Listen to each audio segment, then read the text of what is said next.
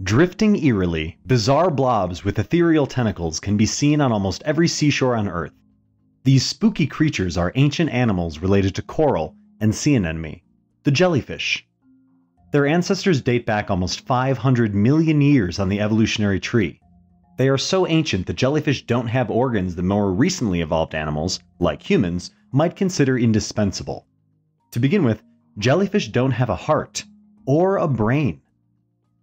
At this point, you might be wondering how, in the name of Darwin, do these animals manage to not only survive, but thrive in sometimes uninhabitable waters.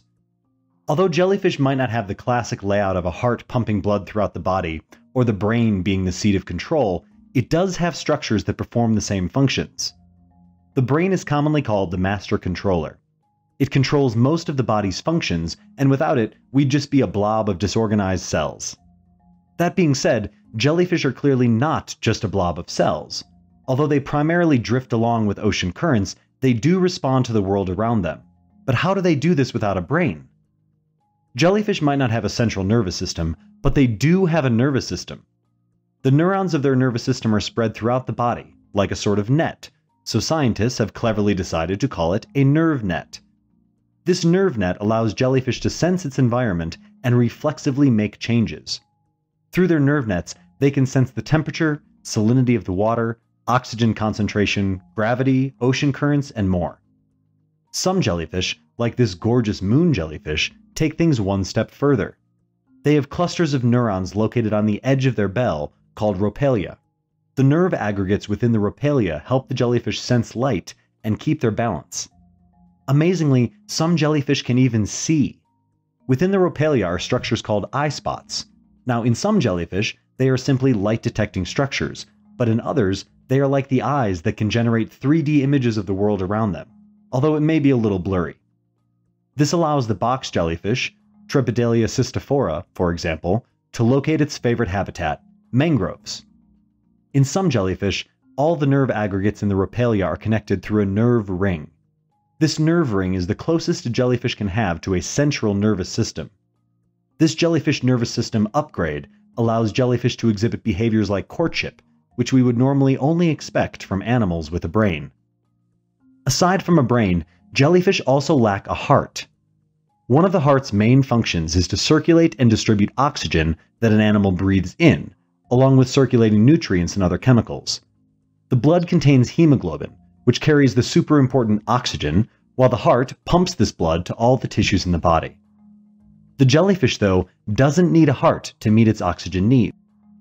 The jellyfish's outer layer of cells, called the ectoderm, is so thin that the oxygen dissolved in the water can simply diffuse right through it. What's more, the jellyfish can then store this absorbed oxygen. The jellyfish body is mainly composed of mesoglea, a jelly like fluid sandwiched between the outer ectoderm and the inner digestive cavity, the endoderm. The mesoglea is how the jellyfish manages to maintain its bell structure in the water. The jellyfish absorbs oxygen through its ectoderm and can store it in the mesoglea. This allows jellyfish to thrive in waters that have extremely low oxygen concentrations. Similarly, the jellyfish doesn't have a complete digestive system, lacking intestines, a liver, a pancreas, and various other critical organs. The food they eat algae, fish eggs, larvae, small fish, and sometimes even other jellyfish, are ingested through the mouth and end up in the jellyfish stomach, called the gastrovascular cavity. Inside this cavity, certain cells release digestive enzymes and the food is broken down. The layer of cells, the endoderm, is thin, like the ectoderm, allowing nutrients to be directly absorbed into the surrounding cells. Once the nutrients are absorbed, the undigested waste matter is released from the mouth. All of this might make the jellyfish seem like little more than a sack of water made of cells, but they're actually surprisingly complex animals. The rudimentary nerve net and nerve ring seem simple when compared to our large brain, but it's a mystery how jellyfish manage behaviors like courtship without a master controller. The nerve nets of jellyfish and related species is basically nature's first draft of a nervous system. Studying it reveals to us the evolutionary path towards the more complex nervous systems of vertebrates.